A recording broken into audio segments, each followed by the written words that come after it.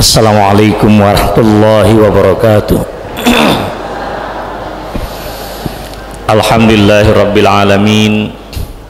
Wabihi nasta'inu ala umuri dunya wad din.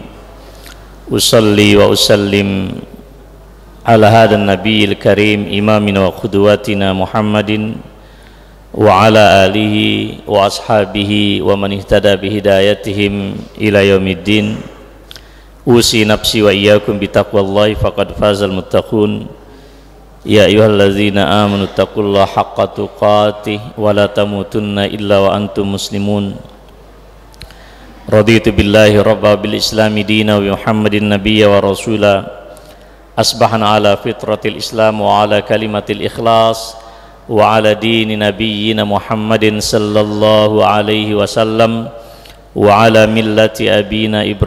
hanifan musliman wa ma kana minal musyrikin.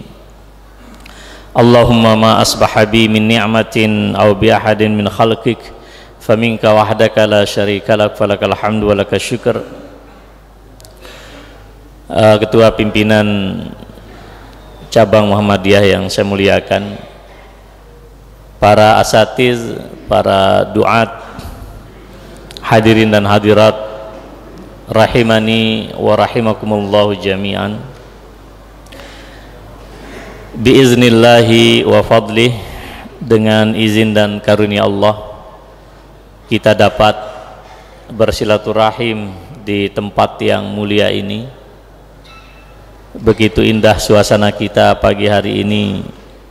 Tidak seperti saudara-saudara kita yang sedang mempertahankan iman dan nyawanya di Rakhine di Myanmar.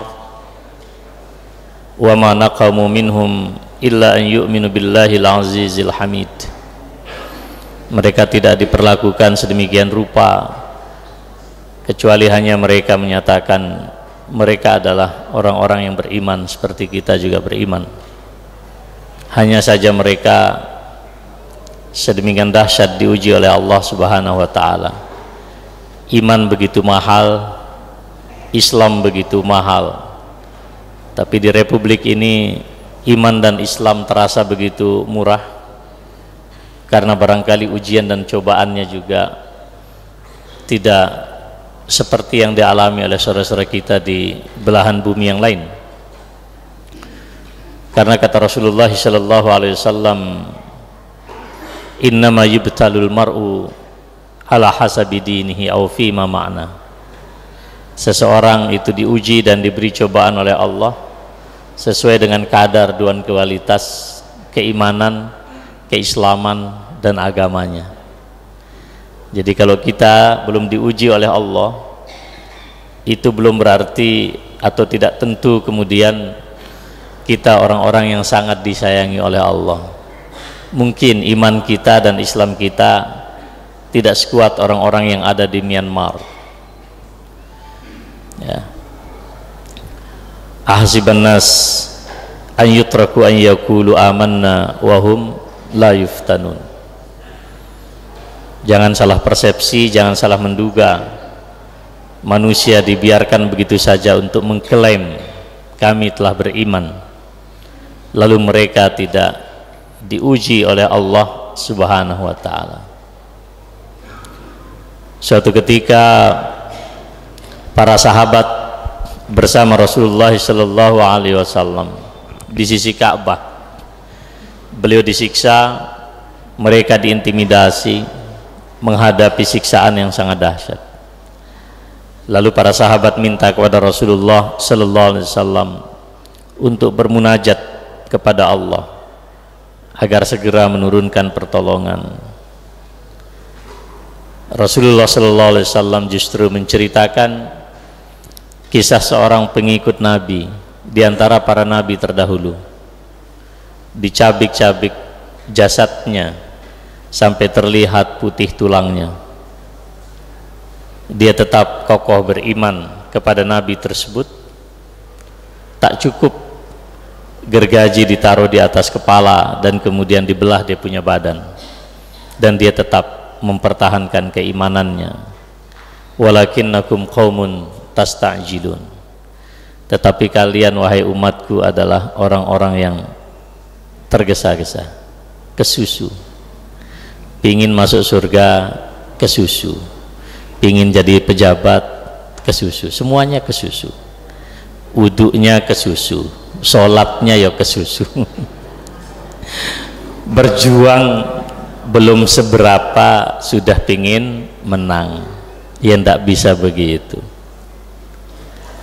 ya saudara sekalian Muhammadiyah kita ini perjuangannya belum tuntas.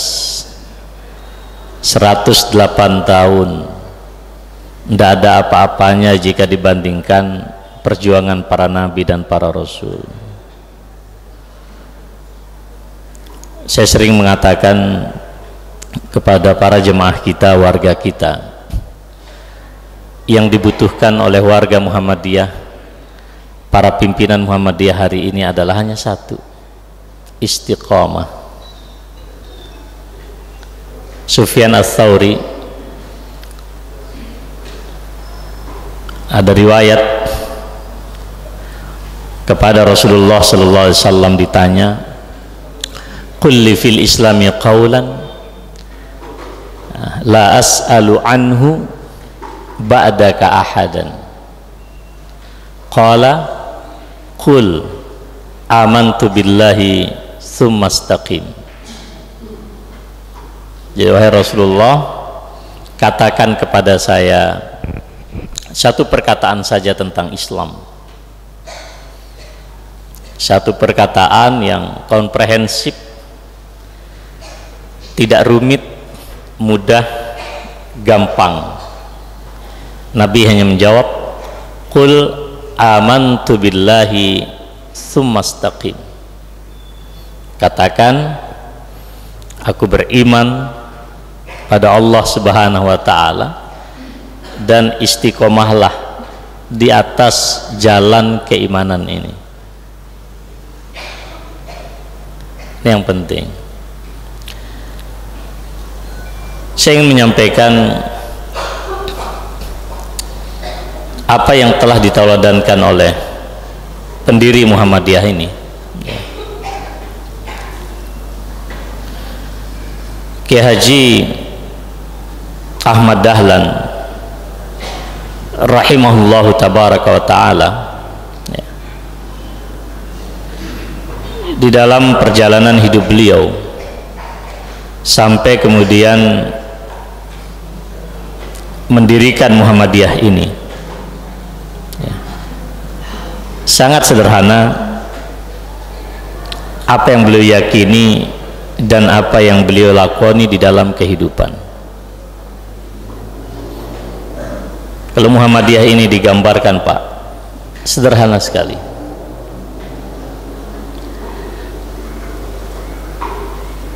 Pada kotak yang merah Kiai Dahlan rahimahullah tabaraka wa taala beliau melihat apa permasalahan terbesar umat manusia. Waktu itu Indonesia dan Republik ini belum lahir di muka bumi. Dan beliau menemukannya di dalam surat Al-Jasiyah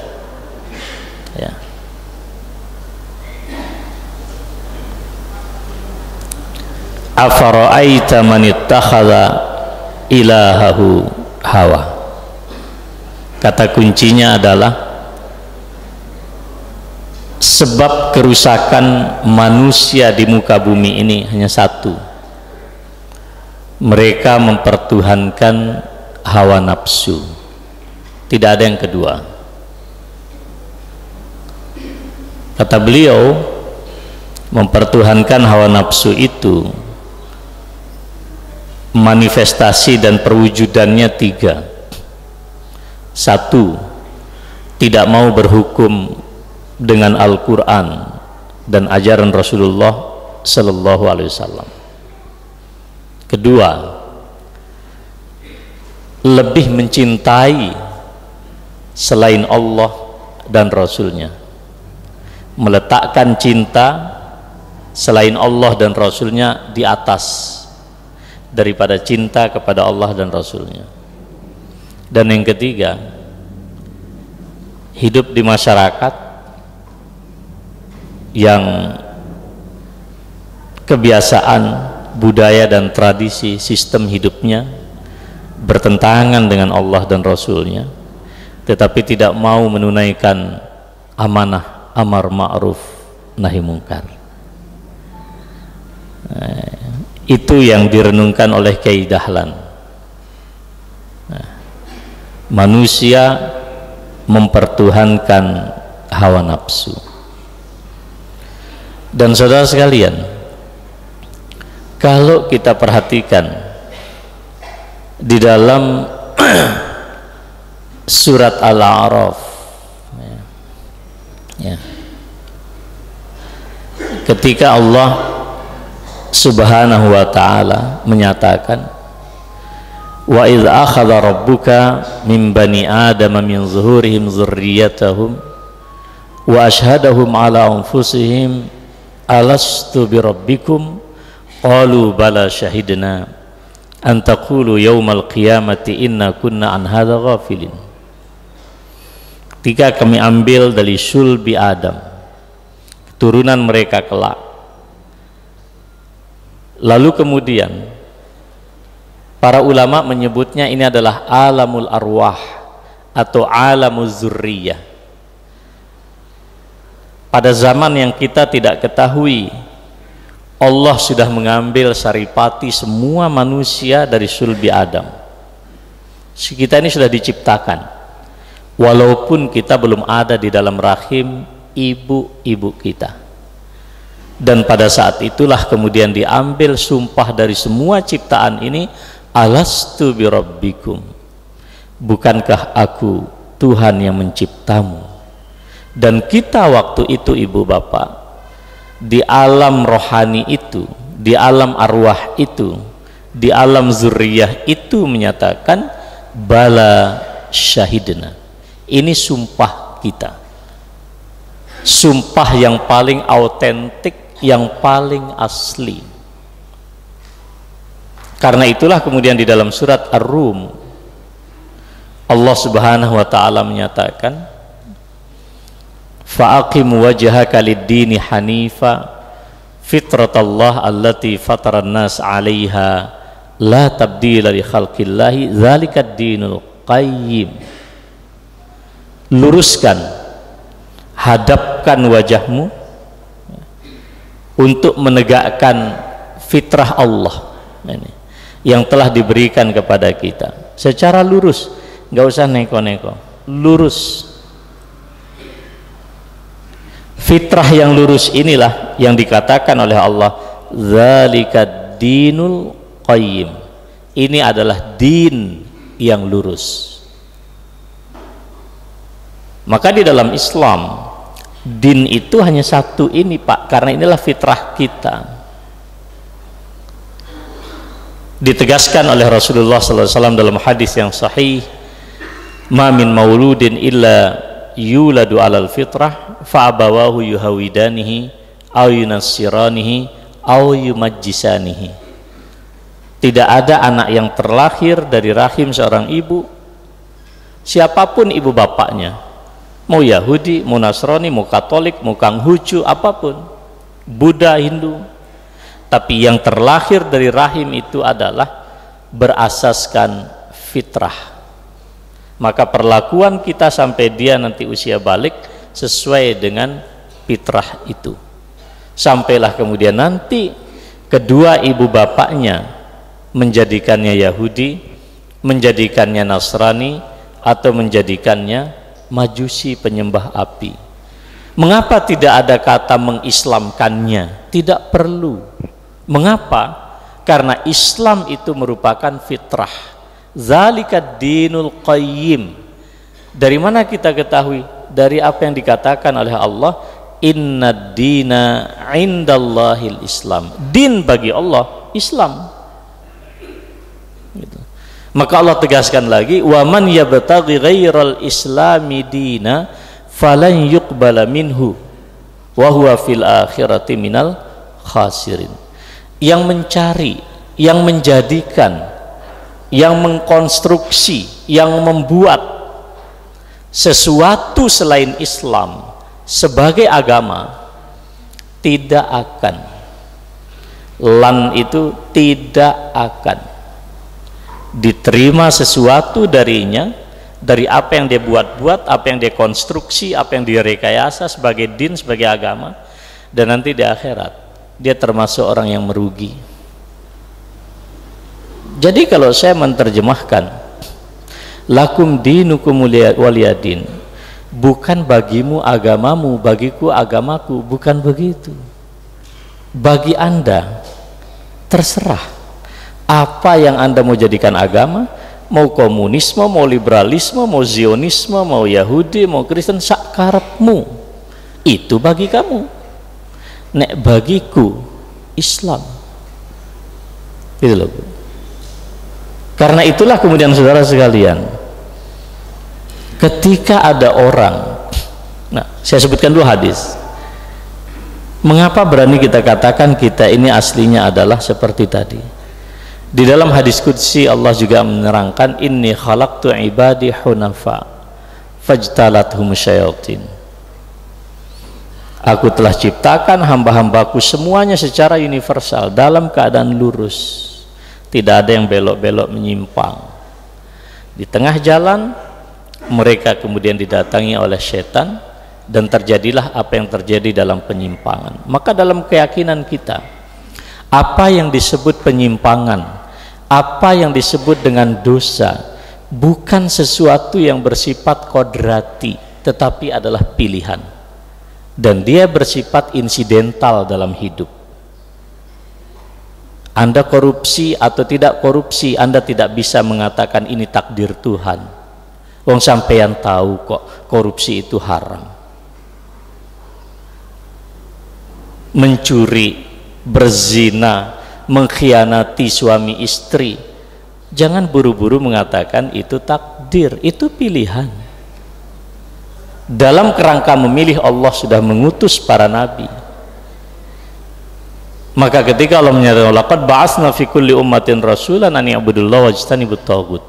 Dan sungguh telah kami utus pada setiap bangsa, setiap kaum, setiap umat seorang utusan Allah. Yang tugasnya itu adalah menjaga fitrah manusia ini apa itu? Ani'budullah.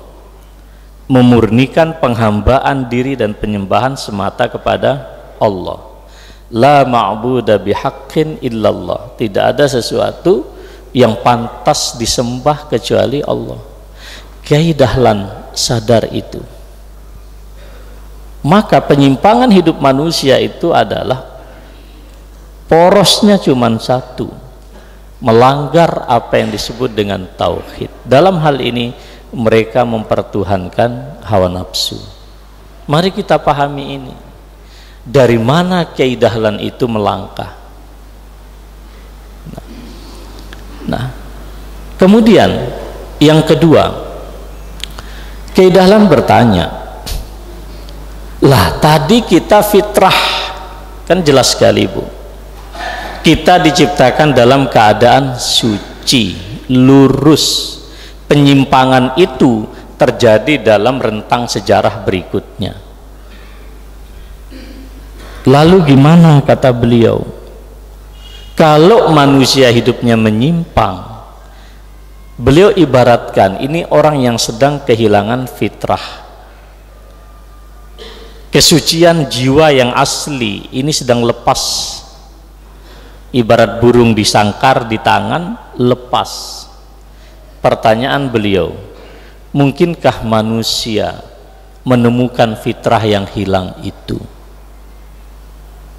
Beliaulah masuk kepada ayat yang kedua. Qad aflaha man tazakka wa dzakara asma rabbih fasalla bal tu'thiruna al-hayatad dunya wal akhiratu khairum wa abqa.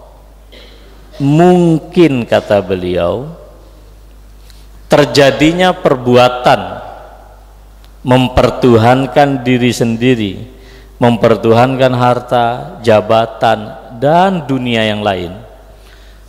Itulah kesyirikan itulah kekotoran. Mungkin kita bersihkan kata beliau dengan cara yang diisyaratkan oleh Allah tazkiyatun nafsi. Jadi setelah tauhid Kiai Dahlan itu mengajarkan kita tazkiyatun nafsi mensucikan jiwa. Jiwa ini bisa kotor ya kan? Jadi saudara sekalian qad aflaha man zakkaha wa qad khaba man dassa. Orang yang berbahagia yang selalu mensucikan jiwa. Dan orang yang merugi adalah orang yang selalu mengotori jiwa. Rasulullah sallallahu alaihi wasallam beliau juga mengajarkan kepada kita tu'radul fitan 'alal qulub kal hasiri 'udan 'udan hati kita ini, kolbu kita ibu bapak sekalian 24 jam. Kata Rasulullah sallallahu alaihi wasallam terus ditampakkan dan dihadapkan pada berbagai macam fitnah, ujian dan cobaan. Kalau anda ingin melihat bagaimana sistemik bagaimana terstrukturnya ujian, fitnah dan cobaan ini anda perlihatkanlah tikar. Coba anda lihat tikar. Tikar yang dibuat dari rajutan itu daun itu rapih sekali. Saling menyilang ke atas ke bawah ke kiri ke kanan dan seterusnya. Rapih sekali. Kalau bisa kita katakan ke mana anda menoleh dalam hidup di situ ada fitnah. Bukan hanya kita ke pasar kita ke kantor ke masjid pun bisa terjadi fitnah. Iya kan? Fitnah ini sedemikian terstruktur sedemikian sistematis bahkan sistemik kita tidak paham itu adalah fitnah.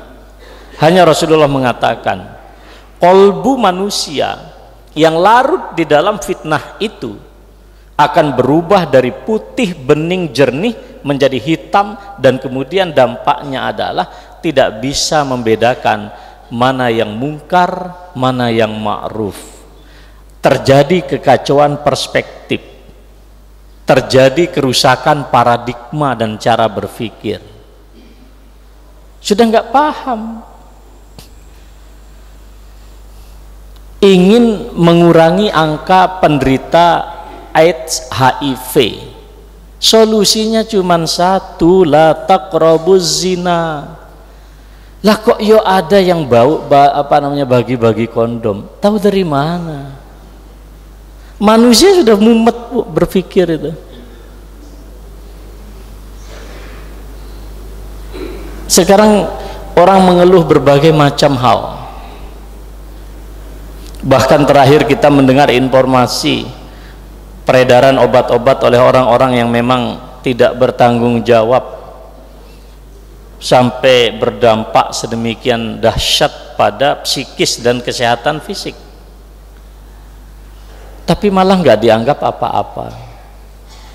Nggak dianggap apa-apa.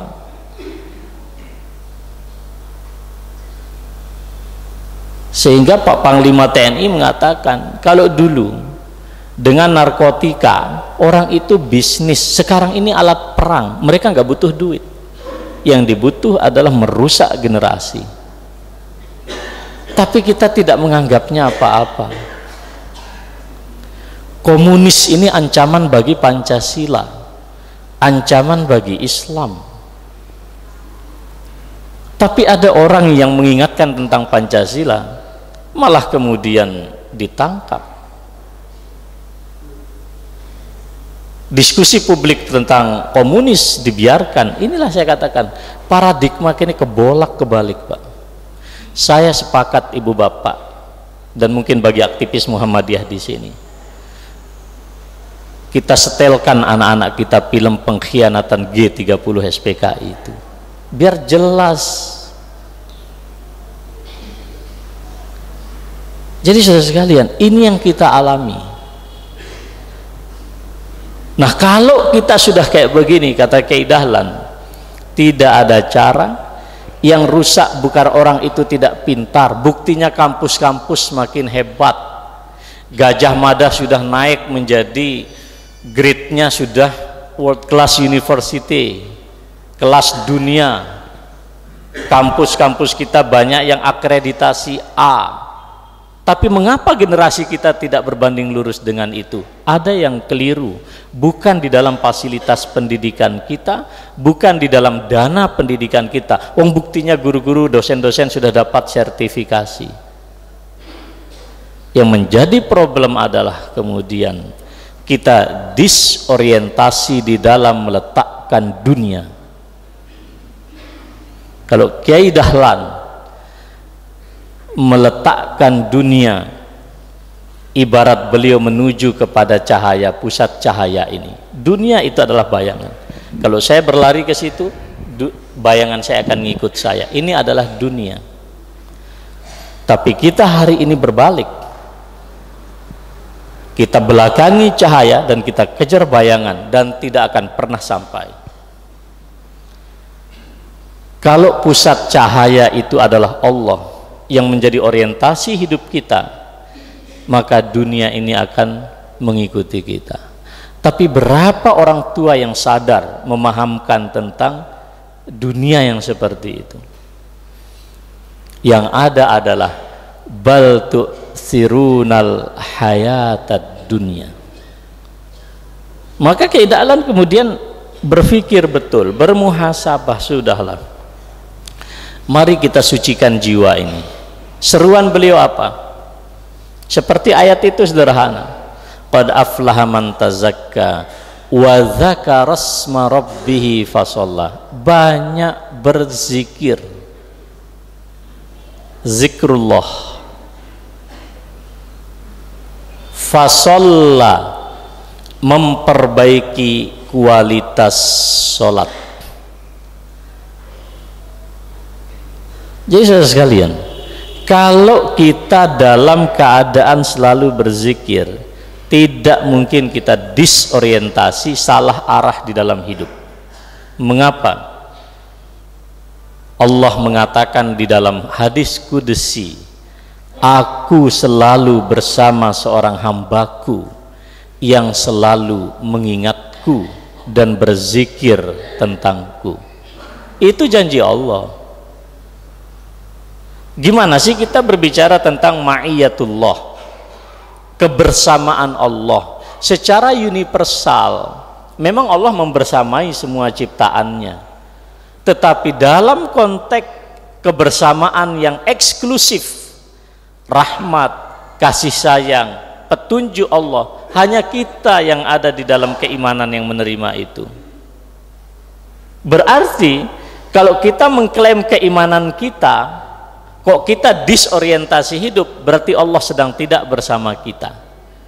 Kalau kita mengklaim kita berzikir tapi hidup kita salah arah besar kemungkinan zikir kita yang bermasalah bahkan kata Allah subhanahu wa ta'ala orang yang banyak mendekatkan diri kepada Allah pada akhirnya di dalam hadis kudsi Allah menjanjikan kita aku akan menjadi mata yang dengannya ia melihat. Aku akan menjadi telinga yang dengannya dia mendengar. Aku menjadi tangan yang dengannya dia menyentuh dan aku menjadi kaki yang dengannya dia berjalan Allah hadir di dalam keseluruhan hidup kita. Mata memandang telinga mendengar tangan menggerakkan WhatsApp, Facebook. Kaki mau berjalan ke masjid atau ke alun-alun. Allah membersamai kita. Jadi kalau Allah Allah Allah. Mulutnya Allah Allah. Tapi kakinya rajin ke 21 ke bioskop gitu. Lah ini enggak enggak enggak enggak enggak pas ini. Ya kan? Sampai masalah sholat pun Rasulullah mengingatkan kita dalam satu doa. Allahumma inni a'udzubika min khusyu'in nifaq. Ya Allah aku berlindung kepadamu dari khusyuk kemunafikan Wakila dan dikatakan kepada beliau wa ma khusyu'un nifaq ya Rasulullah? Apa khusyuk kemunafikan wa Rasulullah? Qal khusyu'ul badan wa nifaqul qalbi. Badannya kalau takbir Allahu Akbar terlihat khusyuk. Kalau ada nyamuk aja bergerak nggak beranjak dia. Saking hebatnya gerakan. Tapi kolbunya menyimpan kebusukan. Nah, siapa yang tahu kalau syirik yang bersifat konvensional syirik yang nyata gampang dikritisi oleh masyarakat tapi ada satu jenis syirik kata Rasulullah SAW yang jika kemudian kita ilustrasikan lebih samar daripada semut hitam di atas batu karang yang hitam di malam hari PLN mati. Nah, susah nyarinya. Itulah yang disebut dengan asyirkul khafi. Syirik yang tersembunyi. Berat. Berat. Maka jangan heran saudara sekalian dalam hadis Muslim awwalu ma yuqda yaumal qiyamati salasa ada tiga orang yang akan pertama kali di, di, di, di, dimintai pertanggungjawaban diaudit dihisap oleh Allah. Datang seorang alim qari'ul Quran. Dia pandai membaca Al-Quran. Allah bertanya engkau apakan anugerah karunia ini? Dia bilang ya Allah saya pelajari ilmu pengetahuan dan saya ajarkan kepada orang lain dan saya baca Al-Quran hanya untukmu dan saya ajarkan Al-Quran kepada orang lain. Allah menyatakan kazabta engkau dusta. Kau pelajari ilmu itu bukan untuk mencari ridha. Ku tetapi sekedar engkau dikatakan sebagai seorang intelek orang cerdik pandai dan engkau baca Quran bukan pula untuk mencari ridhoku tapi agar engkau dikatakan qari. Neh qari hebat. Dibanting oleh Allah diperintahkan kepada malaikat dicampakkan ke neraka. Yang kedua seorang mujahid. Engkau apakan anugerah hidup? Ya Allah sungguh aku gunakan anugerah hidup ini untuk berjuang di jalanmu hatta ustus hitu sampai aku mati syahid. Kazabta engkau dusta. Engkau lakukan itu bukan mencari ridhoku tapi abar engkau dikatakan pahlawan yang pemberani dilempar ke neraka. Terakhir muhsinin dermawan. Engkau apakan anugerah harta itu tidak ada satu celah kebaikan ya Allah kecuali saya infakkan harta di situ. Untuk mencari ridhamu Allah jawab engkau dusta. Engkau lakukan itu bukan untuk mencari ridhoku tapi agar engkau dikatakan seorang dermawan dilempar ke neraka. Ibu bapak mau gambling. Kiai Dahlan sadar betul itu jebakan-jebakan syahwat ini Kiai Dahlan paham betul. Harus disucikan. Harus disucikan. Caranya gimana? Biar kita terus termotivasi. Terakhir itu bal tu'siruna al-hayatad dunya wal akhiratu khairun wa abqa. Sampailah kemudian beliau menulis puisi kematian ini. Bahasa Arabnya ini. Kalau tidak terang bukan salah LCD karena sorotnya terlalu terang dari depan. Ya. Beliau tulis di atas secari kertas puisi kematian. Hai dahlan sungguh bahaya yang menyusahkan itu lebih besar dan perkara-perkara yang mengejutkan ada di hadapanmu. Dan pasti kau akan menemui kenyataan yang demikian. Entah dengan selamat ataupun dengan binasa hai dahlan bayangkanlah hanya dirimu sendiri berhadapan dengan Allah. Sementara di depanmu ada maut kematian yang menanti. Ditampakkan segala urusan yaumal mahsyar. Penghitungan atas segala amal. Dan juga ada surga dan neraka. Dan renungkanlah apa-apa yang mendekatimu dari sesuatu yang ada di hadapanmu yaitu kematian dan tinggalkanlah dari dirimu selain itu. Jadi orang salah arah hidup karena lupa mati pak. Jangan seperti eh, apa seorang penyair di Arab mengatakan al-aisyu naumun wal yaqzat wal wal maniyatu yaqzah. Hidup itu ilustrasinya adalah ibarat tidur panjang. Tidur nyenyak. Kayak gimana sih orang tidur nyenyak? Ya seperti saya semalam di mobil. Saya akan ngisi pengajian. Maka malam saya harus tidur di mobil. Nah saya tidak tahu berapa kali kita apa namanya arus buka tutup. Saya tidak tahu. Nyenyak betul menjelang masuk pekalongan baru saya hidup.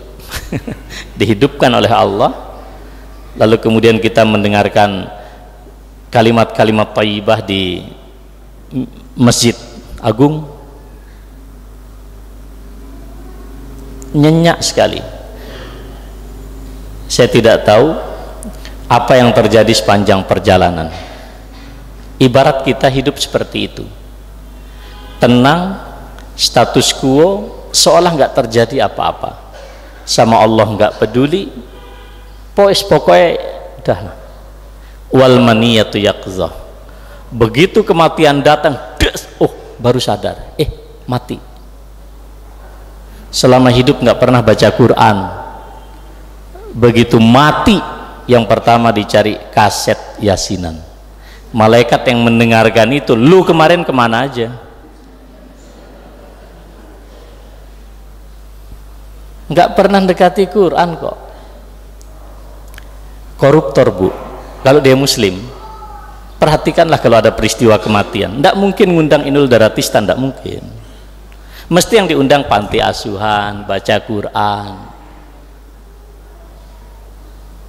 Kan pertanyaannya loh, selama Anda jabat, Quran diletakkan di mana? Quran hanya dipakai satu kali pada hari pelantikan, itu pun dibelakangi lagi.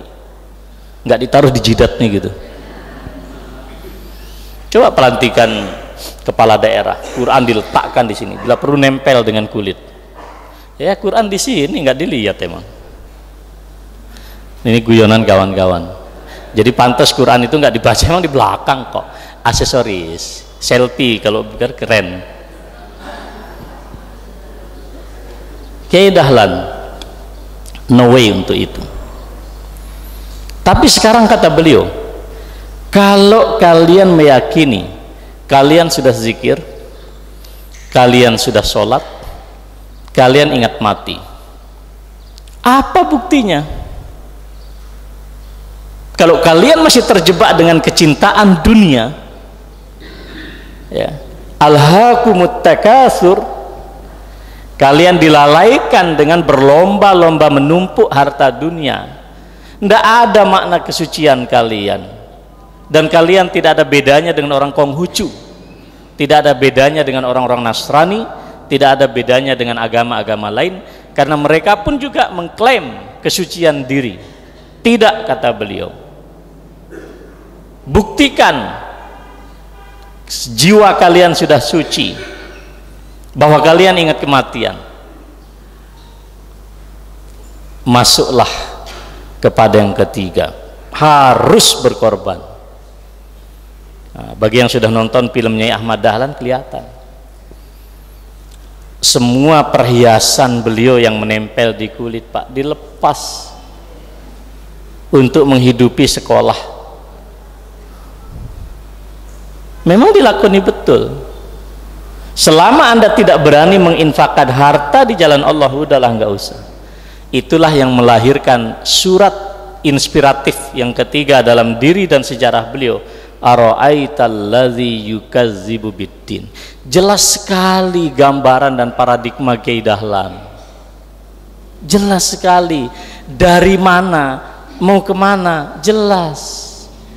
Maka beliau di sini saya Lalu di mana terletak al-asr? Wal asri innal insana lafi khusrin illa alladzina amanu wa amilus salihat wa tawasaw bil haqq wa tawasaw bis. Adanya ada di dalam kerangka hidupnya yang besar. hidup ini terbatas semua manusia merugi maka saya jadikan di sini ada empat persegi empat al asr dulu tahun 70 60 ke sana mungkin 80-an awal juga anak-anak di Muhammadiyah selalu saja diajarkan untuk membaca wal asri. Waktu kita pendek mengapa ini penting? Perhatikan riwayat Ibnu Mas'ud. Ya. Rasulullah mengatakan ajal manusia itu ini garis hitam ini. Ya baca riwayatnya dulu. Dari Ibnu Mas'ud radhiyallahu taala anhu dalam hadis Bukhari membuat segi empat. Ini segi empat garis hitam. Ya. Kemudian membuat membuat garis panjang hingga keluar dari persegi tersebut. Ini dia yang biru keluar. Ya. Kemudian garis-garis kecil dari samping menuju ke tengah yang merah. Yang ini ke sini. Lalu kata beliau ya yang garis hitam ini ajal manusia. Garis yang masuk ke arah dalam. Ini adalah musibah peristiwa apa pun yang tidak disukai oleh manusia dan pasti akan menemui manusia. Jika hari ini selamat mungkin besok. Jika besok luput mungkin lusa. Setiap hari arah panah menuju kita. Tapi kalau berbicara yang biru ini hasrat, obsesi syahwat manusia manusia bisa merencanakan dunia melampaui daripada masa ajal yang ditentukan oleh Allah. Anda berpikir hari ini punya satu merapi emas sebesar gunung Merapi selesai tidak masalah? Tidak. Dia akan cari emas sebesar Merapi yang kedua kalau dapat yang kedua selesai. Tidak. Dia akan cari yang ketiga. Kapan berakhir? Di liang lahat. Kalau mulut sudah penuh dengan tanah yang kita timbunkan kepada dia. Maka coba. Setelah mencapai satu ingin mencapai dua. Setelah mencapai dua ingin mencapai tiga. Bahkan melintasi batas ajal cita-cita hidup saya 100 tahun yang akan datang. Ya bagus saja. Tapi tolong dong baca hadis ini. Indonesia menjual sumber daya alamnya kadang untuk 100 tahun. Privat itu pak kan zaman bukan sekarang pak. Mati Pak Karno Freeport masih digadekan di orang lain. Mati Pak Harto Freeport masih di orang lain. Ya kan? Mati Gus Dur Freeport masih di orang lain sampai kapan? Padahal umur pemerintahan itu hanya 10 tahun. Tapi kok ya berani sumber daya alam ini sampai sekian puluh tahun ke depan? Siapa yang bertanggung jawab? Ini contoh. Memang betul ada ibarat yang mengatakan hiduplah di dunia seolah engkau akan kekal. Ya kan? Dan beribadahlah kamu seolah-olah kamu mati besok pagi. Saya hanya ingin ngasih catatan. Sampai tahu apa tidak? Karena biasanya kalau dunia ini tidak terkendali akhirat ini lewat. Maka Allah menyatakan wala takunu kalladzina nasullaha fa ansahum anfusahum. Nah dari sini saudara sekalian, Kiai Dahlan membangun peradaban Muhammadiyah ini. Saya tidak ada minat dan tidak ada motif untuk kemudian kita mengkultuskan. Orang Muhammadiyah itu orang berakal. Orang Muhammadiyah itu selesailah pada hal-hal kayak begitu. Kami pun tinggal di Yogyakarta. Kayaknya kalau tidak ada keseripahan lelayu menguburkan orang, saya nggak pergi ke makamnya Kiai Dahlan itu. Akal ini masih sadar gitu loh ke makam Gus Dur pun saya datangi ini kalau di Pekalongan ada kuburan bersejarah bisa saya saya datangi. Saya ingin melihat fenomena masyarakat kita ngapain di situ. Tapi ingin saya katakan ya barang siapa yang ingin mencari teladan carilah keteladanan itu dari orang-orang yang telah wafat. Karena orang yang hidup tidak aman dari fitnah. Bisa ya sekarang begini besok begitu makanya kalau idola hidup anda ini para artis mesti kecewa. Karena artis itu nggak ada jaminan. Sekarang hijrah besok balik lagi nggak ada jaminan. Begitu artisnya balak bolak balik akhirnya Islam yang dia kecewa. Nah, itu yang salah bukan artisnya anda yang salah. Jangan salahkan artis. Jadi sekalian spirit ini ruhiyah ini ini yang harus kita pertahankan di dalam kehidupan kita. Makanya saya katakan kalau kalau apa gambaran kayak begini gampang sekali itu. Ya. dan ini alhamdulillah sampai sekarang ini luar biasa. Rohingya itu dahsyat bu. PWM Jawa Timur hanya tiga hari sudah tembus 4 miliar instruksi PWM infak. Mula-mula hari pertama kami koordinasi di kantor PP itu hanya 1,3 laporan. Setelah itu seluruh masjid Indonesia di Muhammadiyah diminta untuk mengumpulkan infak. Kalau masjid Muhammadiyah di sini belum berarti masih punya utang udah Alhamdulillah. Aman Pak nggak ditanya mungkar nakir besok. Itu Alhamdulillah langsung ketemu di angka itu di luar Jawa Timur loh Pak ketemu di angka tembus 4 miliar. Kalau digabung dengan Jawa Timur itu hampir 10 M. Tadhiyahnya orang Muhammadiyah ini insya Allah. Spirit berkorban ini dahsyat. Yang saya ingatkan adalah pada aspek tazkiyah dan tauhid. Jangan sampai lepas karena ini adalah asas kita kalau kita investasi sampai sekian miliar untuk Myanmar tapi nawaitunya keliru waduh.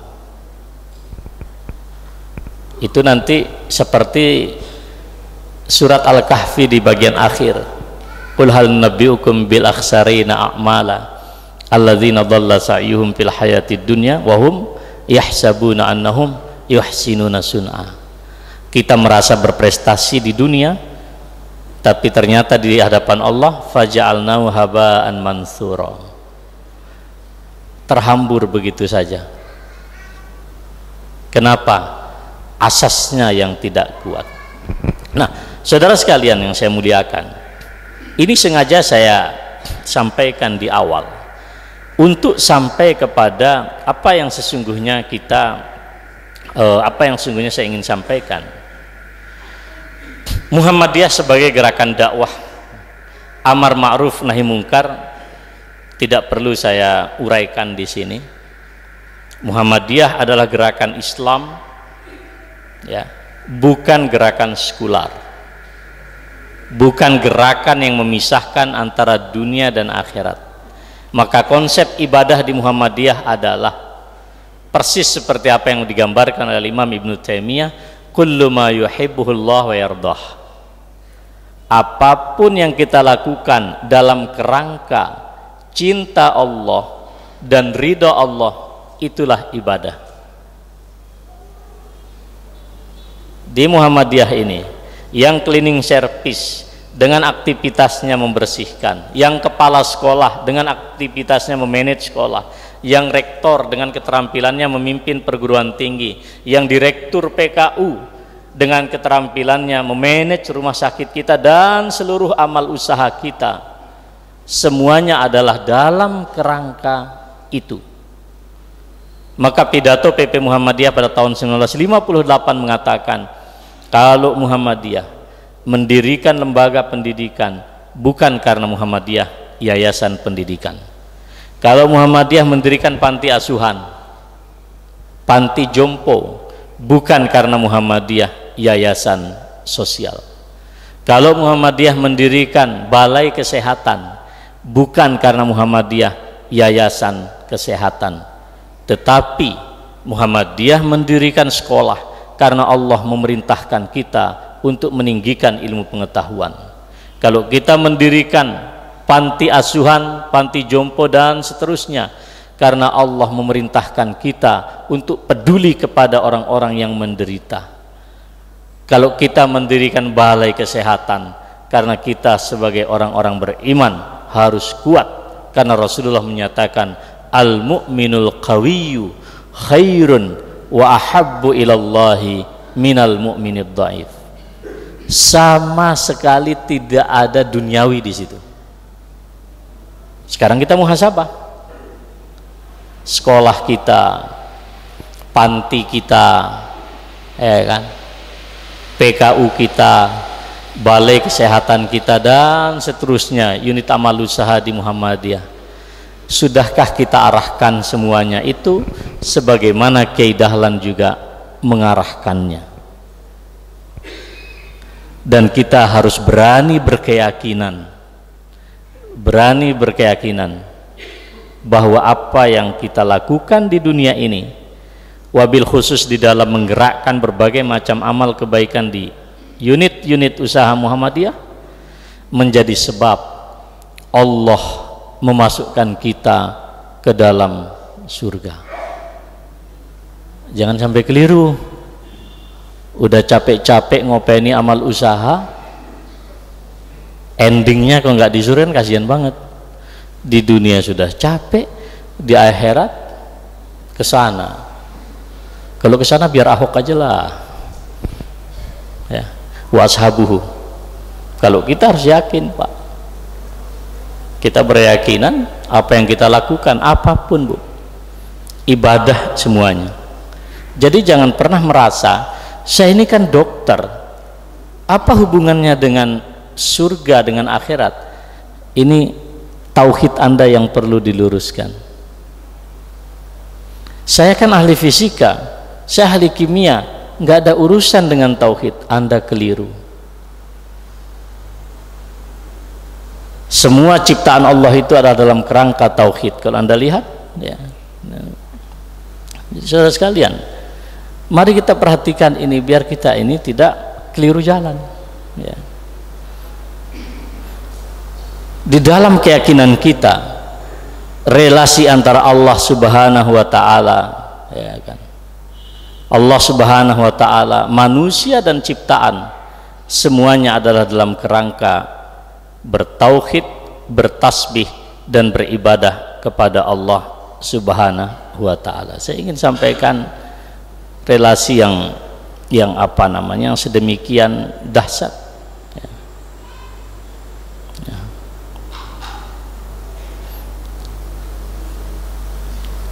Ini agar kita paham. Pada bagian atas ini Allah. Allahul ladzi khalaqakum summa razaqakum summa yumitukum summa yuhyikum. Jelas definisi Allah kita itu. Dialah Allah yang telah menciptakan kita telah memberikan kita rizki telah mematikan kita lalu kemudian menghidupkan kita kembali Apakah ada sekutu yang sanggup melakukan itu? Jawabannya tidak ada. Allahu Rabbuna. Di sini manusia. Laqad khalaqnal insana fi ahsani taqwim. Sempurna kita, indah kita, hubungan kita dengan Allah. Wa ma khalaqtul jinna wal insa illa liya'budun. Di sini alam semesta. Mari perhatikan. Di sini ada kedokteran, di sini ada fisika, di sini ada matematika, di sini ada ilmu tentang alam semesta, astronomi. Ada ilmu oceanologi, ada vulkanologi. Mari kita baca di dalam surat Al-Luqman ayat 20. Alam tarau annallaha sakhara lakum ma fis samawati wa ma fil ard wa asbagha alaikum ni'amahu zahiratan wa batinah wa minan nasi man yujadilu fillahi bighairi ilmin wala hudan wala kitabim munir. Allah kemudian tundukkan semua apa yang ada di atas, di langit dan di bumi. Sebagai apa? Instru, infrastruktur dan fasilitas kita berbuat taat dan patuh kepada Allah. Jelas sekali posisi semesta ini. Hubungannya bagaimana dengan Allah? Tusabbihu lahu samawati sab'u wal ardu wa man fihin wa in min syai'in illa yusabbihu bihamdih. Langit yang tujuh dan bumi dan siapa pun yang ada di dalamnya. Kata Allah dan sungguh tidak ada sesuatu di langit dan di bumi kecuali bertasbih kepada Allah. Bahkan segelas teh ini pun juga bertasbih kepada Allah maka karena benda semesta ini semuanya bertasbih ya wa ma min dabbatin fil ardi wala ta'irin yatiru bi janahihi illa umamun amsalikum. Tidak ada binatang melata dan tidak ada burung yang terbang di angkasa kecuali mereka adalah seperti kalian. Maka hubungan kita dengan mereka adalah ya qaumi abudullah Allah yang kita sembah malakum min ilahin ghairu. Gelas ini bukan Tuhan buat anda. Jabatan bukan Tuhan buat anda. Harta bukan Tuhan buat anda. Tidak ada selain Allah yang menjadi sesembahan kita. Huwa ansha'akum minal ardi. Dia ciptakan kalian dari bumi wasta'marakum piha tugas kita adalah memajukan memakmurkan bumi. Jadi saudara sekalian Rasulullah mengatakan kalau ada orang membunuh binatang tanpa sebab yang bisa dipertanggungjawabkan di depan Allah pun akan dimintai pertanggungjawaban oleh Allah. Jangankan melakukan tindakan biadab seperti di Myanmar. Anda membunuh burung tanpa jelas yang bisa tanpa alasan yang bisa anda jelaskan akan dimintai pertanggungjawaban oleh Allah. Binatang luar biasa bu. Punya hak. Bukan hanya hak asasi manusia hewan pun dipelihara coba anda lihat kemarin kita idul adha. Kita punya adab kepada kambing-kambing itu. Kepada unta kepada sapi. Tajamkan pisau. Hadapkan dia ke Ka'bah. Kawan-kawan yang lain jangan melihatnya. Posisinya di sini. Bacakan bismillahi Allahu Akbar. Ada adab kepada hewan kepada binatang sembelihan kita beradab. Loh kok manusia di Myanmar diperlakukan seperti itu? Jadi kalau Myanmar tidak menggerakkan hati anda saudara sekalian saya sangat yakin bukan wawasan anda yang kurang imanmu yang bermasalah. Innamal mu'minuna ikhwatun. Masalul mu'minina kal jasadil wahid idha shtaka minhu udwun tada'alau sa'irul jasad bisahari wal huma. Itu psikologi orang muslim. Satu disakiti kita merasa. Meskipun kita tidak perlu kemudian sampai melakukan kerusakan. Tidak ada hubungannya. Di sana orang Buddha lalu orang Buddha di sini disakiti. Tidak perlu sampai ke situ. Apa yang bisa kita lakukan? Berjuang di sana tidak mudah. Ya Muhammadiyah menjadi ketua yang ditentukan oleh Pak Jokowi untuk melakukan aksi kemanusiaan. Muhammadiyah menjadi pimpinannya di situ, di lapangan. Itu pun masuk, Pak, masih sembunyi-sembunyi. Sampai kemudian kemarin relawan diberikan diberikan tata cara kalau sholat jangan sampai terlihat Anda Allahu Akbar. Karena apa? Ditembak. Dahsyat, Pak, kita di sini hanya diminta bangun pagi susah. Susah Orang di Myanmar Allahu Akbar tembak nyawanya. Coba indahnya republik ini coba sampai iman pun kita nggak tahu kapan hilangnya itu. Ya saudara sekalian yang saya muliakan, ini jelas sekali. Maka Muhammadiyah itu urusannya di situ. Raih akhirat, majukan dunia. Nah, jangan majukan dunia akhirat lepas bukan kayak begitu akhirat di tangan. Dunia pegang. Itulah uh, yang di yang diminta oleh Allah. Wa bataghi fi ma darul akhirah. Orientasi terjauh kita akhirat. Wala tansa nasibaka minad dunya insyaallah Pak di Muhammadiyah kita ini perkara ini sedemikian tertata. Sistem kita ini sedemikian bagus. Tinggal kita istiqomah tadi tauhid dan kesucian jiwa itu. Maka saya katakan dalam konteks ajaran ini saya menyerukan kepada kita tidak perlu kemudian kita meragukan atau bimbang. Kalau kita bicara mengatakan manhaj jalan kehidupan metode kehidupan maka saya pun sangat yakin bahwa metode yang digariskan metode yang digariskan jalan kehidupan yang digariskan di persyarikatan ini insya Allah sama sekali tidak keluar dari apa yang digariskan oleh Allah Subhanahu wa taala. Wa anna hadza sirati mustaqiman fattabi'uh wa la tattabi'us subul fatafarraqa bikum an sabili. Ikuti jalanku yang lurus. Rasulullah sallallahu alaihi wasallam menyatakan ketika Allah mengatakan itu beliau kemudian membuat garis ketika membaca Al-Maidah 153 As-Sirat. Ini adalah jalan Allah yang lurus. Hada sabilullah kemudian ada garis yang ke kiri dan ke kanan.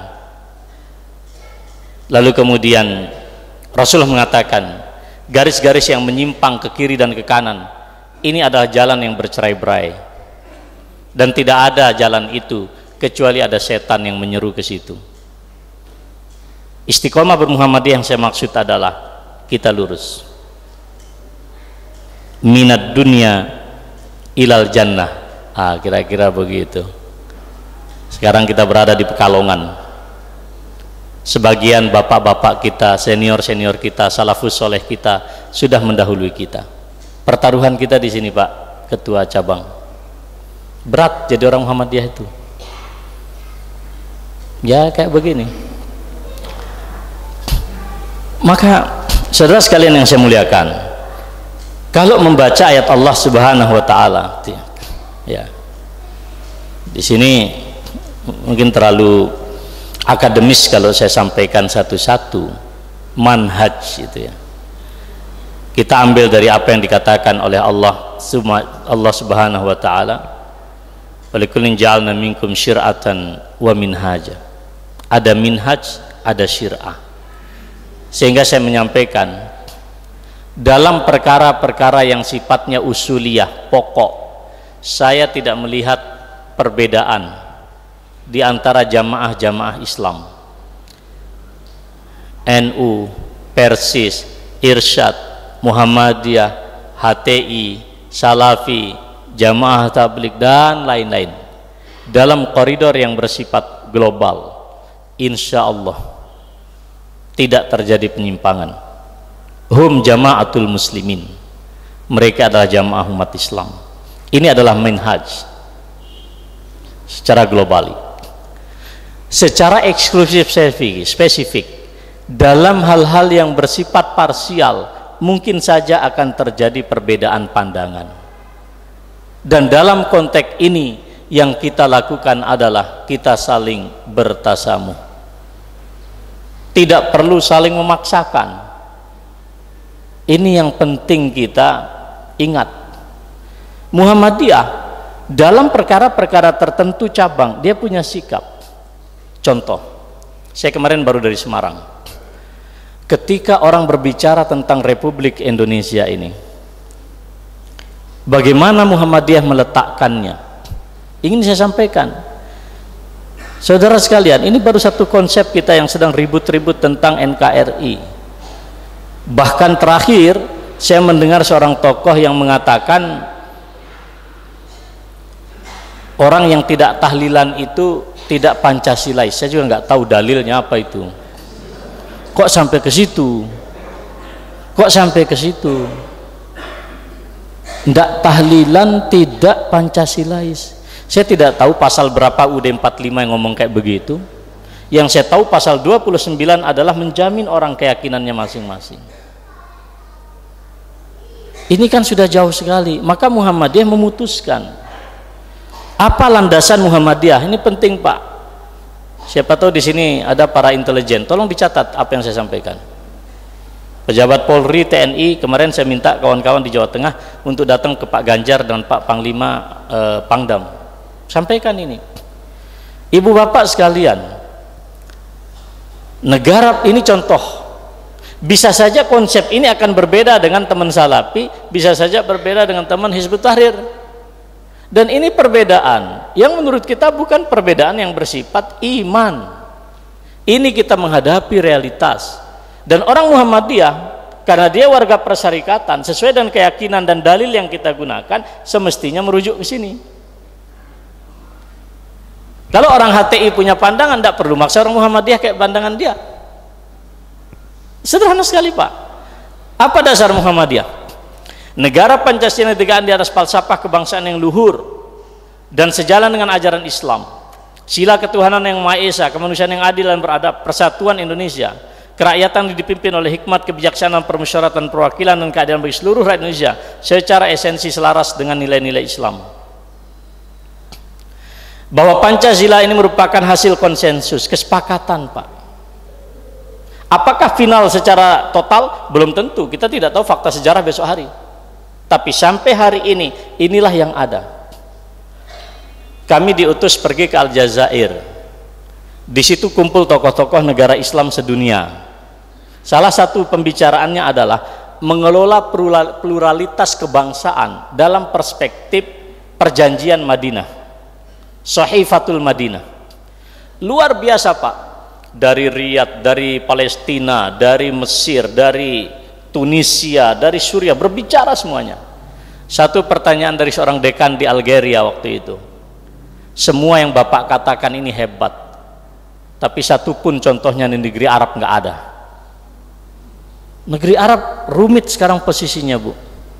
Rumit konflik antar kelompok antar ini antar itu. Sampai setelah itu ada lagi pertemuan di mana ini? Di di Kolombo. Saya juga datang di Kolombo. Pejabat Kementerian Agama Arab Saudi minta betul Muhammadiyah ini saatnya sekarang memberikan cara pandang kepada umat Islam di luar Indonesia. Itu yang minta Profesor Dr. Abdul Aziz Al-Ammar. Saat ini dulu beliau mantan menteri uh, mantan wakil menteri urusan agama di Arab Saudi syu'un diniyah sekarang beliau menjadi mustasyar. Beliau Dewan Penasehat Menteri Agama saat ini. Ngomong seperti itu. Tidak mudah loh menata konflik dan keragaman di satu negeri itu. Makanya Rasulullah menerbitkan apa yang disebut dengan sahifah yang mana sahifah itu adalah kesepakatan antara muslim, islam, yahudi, nasrani dan seterusnya. Substansi yang diinginkan adalah bahwa Pancasila ini merupakan kesepakatan elemen bangsa ini. Maka Kiai Bagus Hadi Kusumo sebagai muslim kata beliau tidak mungkin saya meletakkan dasar negara ini di luar Islam.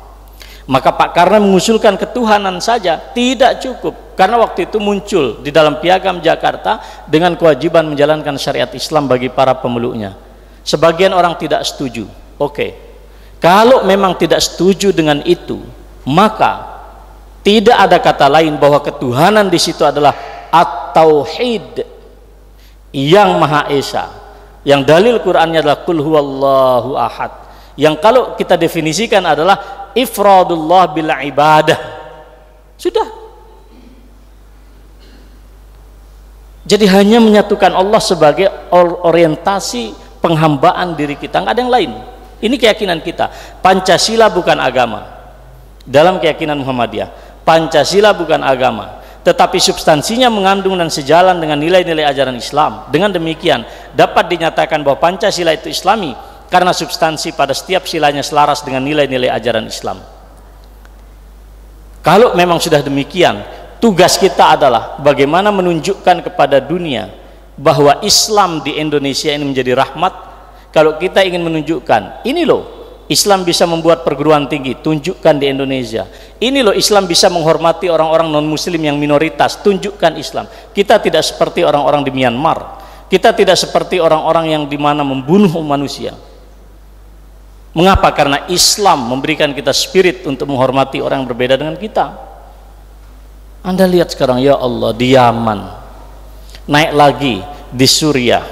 Naik lagi Palestina geser lagi Amerika apa maaf Mesir Afrika turun lagi ke Afghanistan Pakistan. Ya Allah tiap hari isinya darah bu.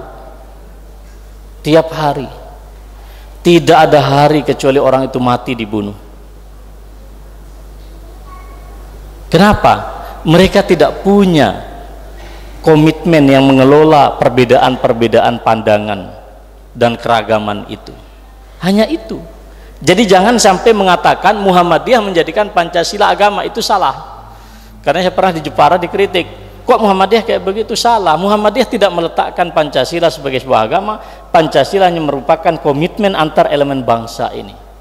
Dan ingat sila persatu bagi kita adalah tauhidullah. Maka seorang tokoh Kristen ketika itu menulis dokumennya saya tidak bawa dengan hilangnya tujuh kata di dalam sila pertama apakah umat Islam kalah? Bagi sebagian kita kalah tapi menurut tokoh Katolik namanya Setia Budi. Beliau menulis di dalam satu tulisan buku Kristen. Dia mengatakan dengan digantinya tujuh kata dalam sila pertama menjadi ketuhanan yang Maha Esa berarti sudah tertutup di republik ini Tuhan yang berbilang bagi rakyatnya tak ada lagi Trinitas. Tidak ada lagi yang lain. Maka itu di, di, diwujudkan lebih nyata dalam preambule UUD 45 atas berkat rahmat Allah bukan yang lain.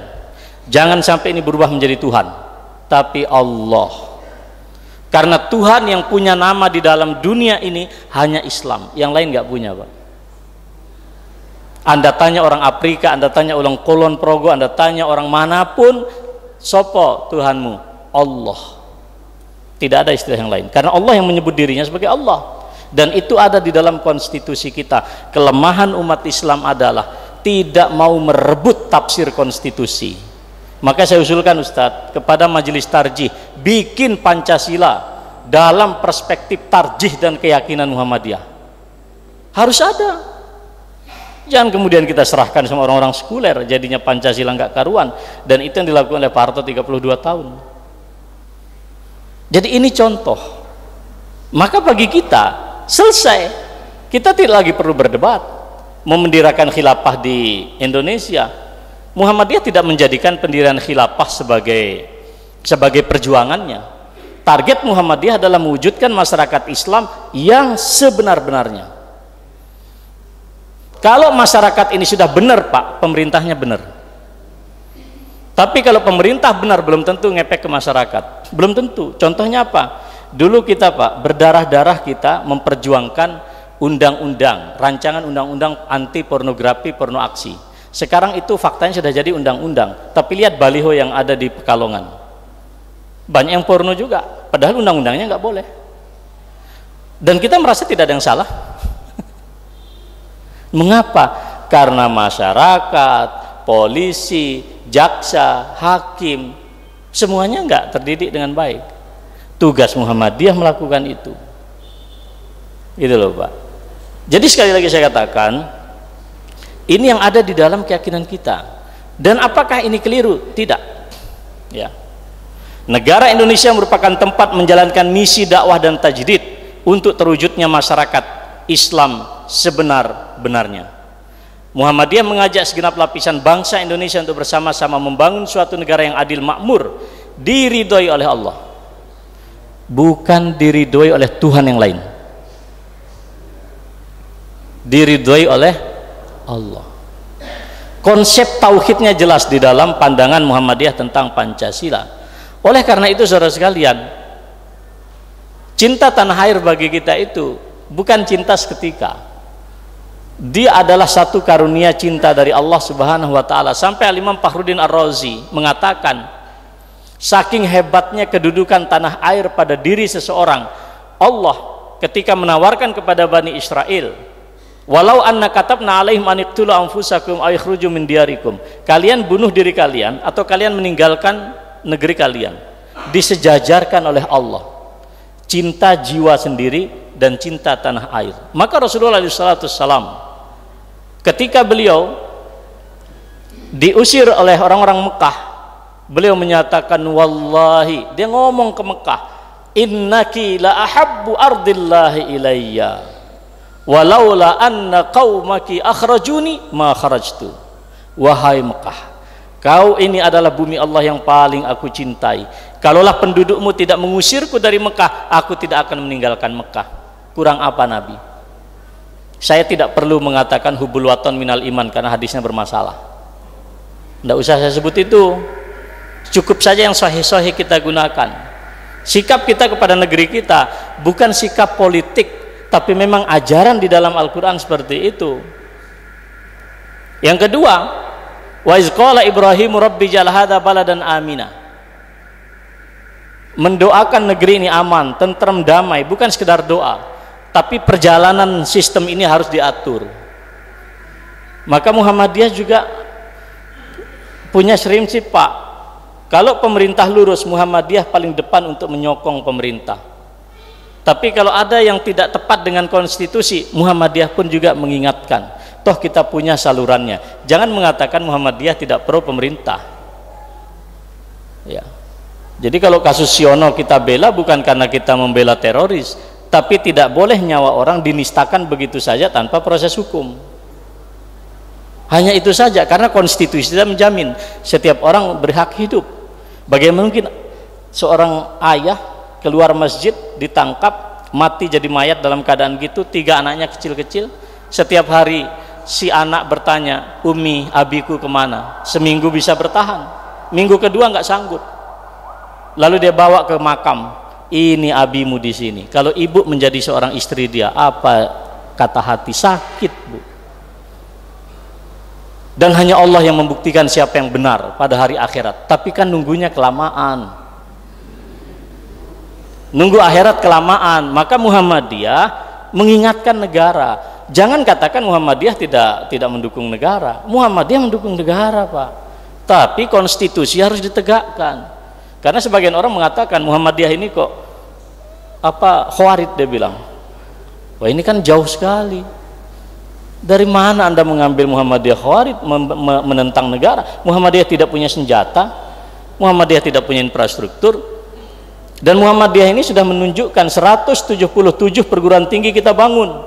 Lebih banyak daripada perguruan tinggi negeri. Kalau 177 perguruan tinggi ditutup oleh Muhammadiyah mau ke mana rakyat itu tidak usahlah meragukan Muhammadiyah dari sisi itu. Nah ini penting kita tegaskan ibu bapak sekalian. Membangun dan memakmurkan sebagai amanah. Ansya'akum minal ardi fiha. Kita membangun panti asuhan kita membangun apa dan semuanya. Karena perintah Al-Quran Pak kita makmurkan, kita majukan. Bukan sekedar perintah persyarikatan. Kita bangun rumah sakit agar masyarakat ini sehat. Ah, jelas landasan akidahnya itu. Bahkan kita wajib mempertahankan tanah air kita.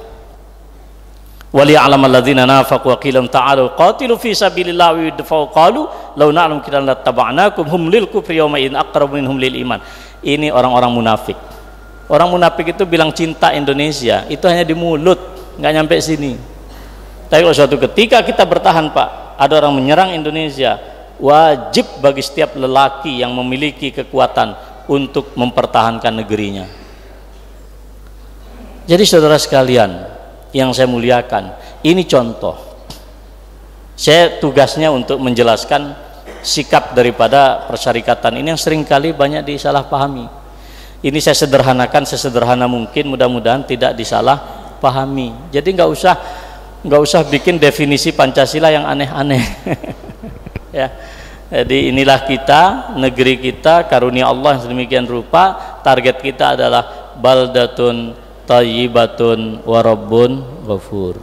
Nah saya kira demikian ibu bapak yang saya muliakan jemaah sekalian. Saya cukupkan sampai di sini. Nasrun minallahi wa fathun qarib. Wassalamualaikum ala nabiyyina Muhammadin wa ala alihi washabihi ajma'in. Wassalamualaikum warahmatullahi wabarakatuh.